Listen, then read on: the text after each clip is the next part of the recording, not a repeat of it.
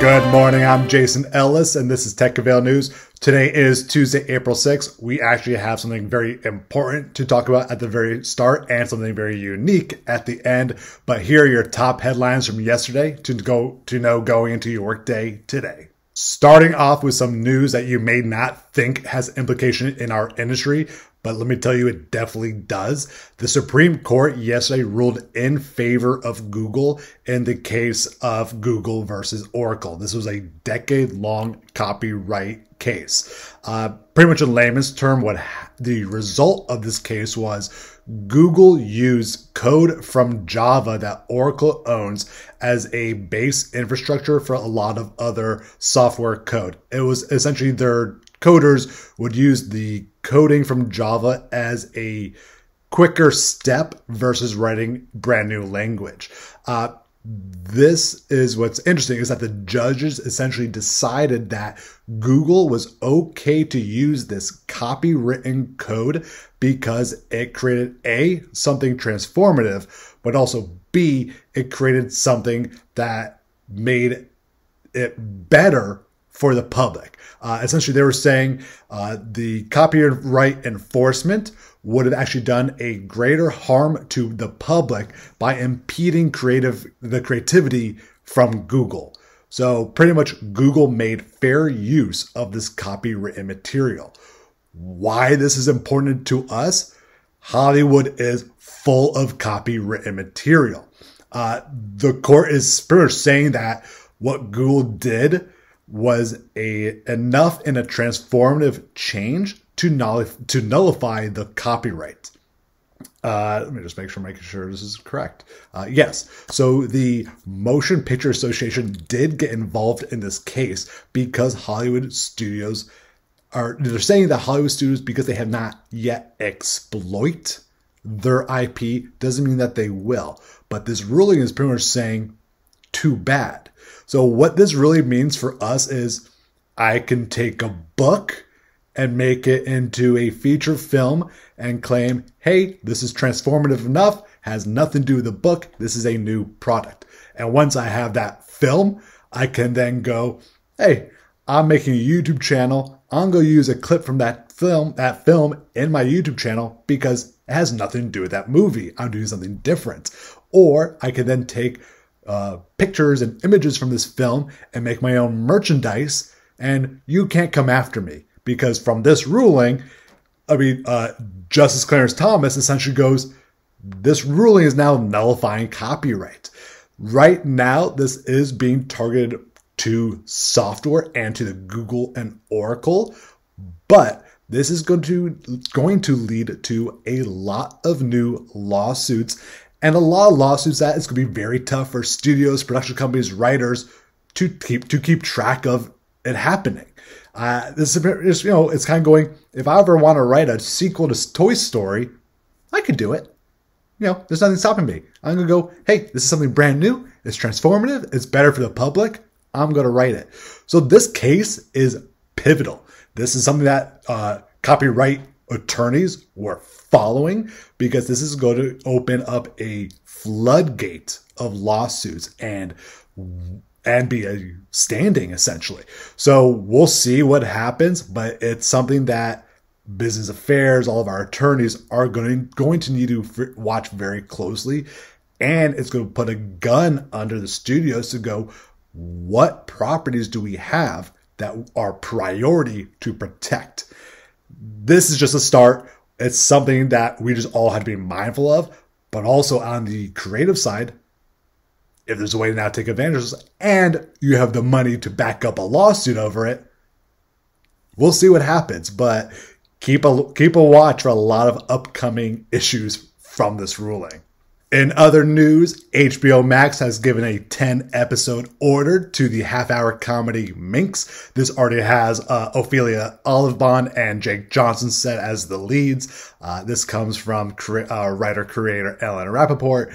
Paul Feig is Paul Paul Feig uh, as producer and Lionsgate TV. Uh, this is number two for uh, Paul's company with HBO Max. He already had Love Life, which is now going into season two for them. So great for uh, Feigco for getting this and a great order by HBO Max. The NFT train will not stop. Ashton Kutcher, who is always at the forefront of technology, is pairing up with Guy Oseary, Mark Cuban, and Snoop Dogg to bring NFTs to now the reality world. Essentially, they are they're calling it NFTs the pitch, but it's going to be like Shark Tank, where NFT creators could come in and pitch their prod, you know, their product and see if any of these sharks would want to invest in it. I'm very unclear how this will work. NFTs are digital artwork, you know, gifts, imprints, whatever. What are these guys bidding on? Kind of going, hey, is this something that's we value, valuable enough to auction off? We'll see.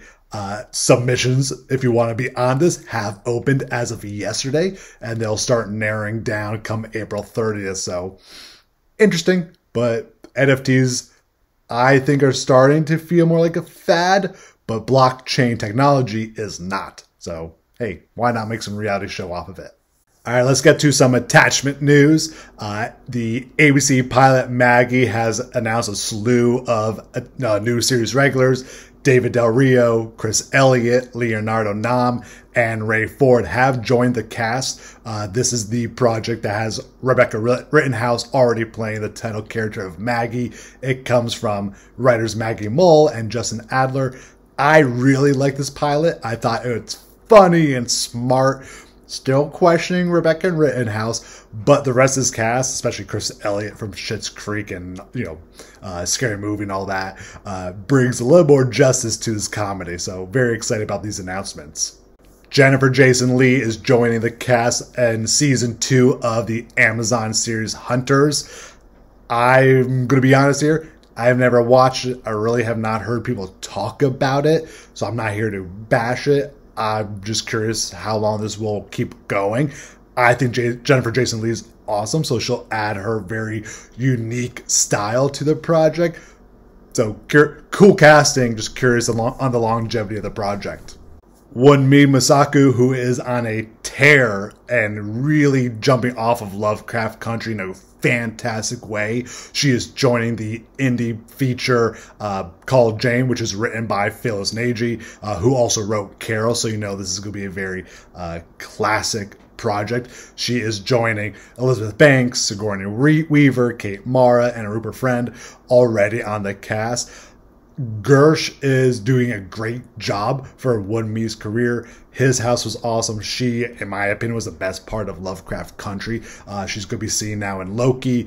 I love when a fantastic actress is getting her, you know, final, you know, come up and, and really time to shine. So keep going. Love this casting. I think Called Jane is going to be one of those movies that everyone's going to be talking about probably for the festival circuits the YA rom com sex appeal that we talked about a couple weeks ago uh, and being uh, directed by Talia Osteen has just did a big cast announcement. It's Margaret Cho, Fortune uh, Feimster, Skai Jackson, Rebecca Henderson, and Paris Jackson have now joined the cast. Fortune, in my opinion, can do no wrong. I think she steals literally every scene she's in. So this is a great casting, uh, especially for a YA rom com to see these great comedy names join it. Uh, this is for Hulu and being produced by American High. So cool announcement. So moving into our unique news, there are two very quick stories that I think are just funny and interesting.